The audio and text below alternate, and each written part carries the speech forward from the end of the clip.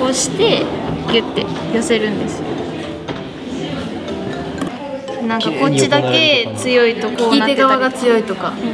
なるよね。私はすぐ斜めなりたいきっかけは体験入部の時に一度して楽しいなと思ったからです折り図を見ながら緻密な作業をしていくのがとても難しいですがやりがいがあってとても楽しいです。色も柄も自分で一から選んで織るものなので一つ一つ丁寧にやれるのがいいなと思います。佐賀の伝統工芸を守ってるっていう感じがあるのでこれからもずっと続けばいいなって思ってます。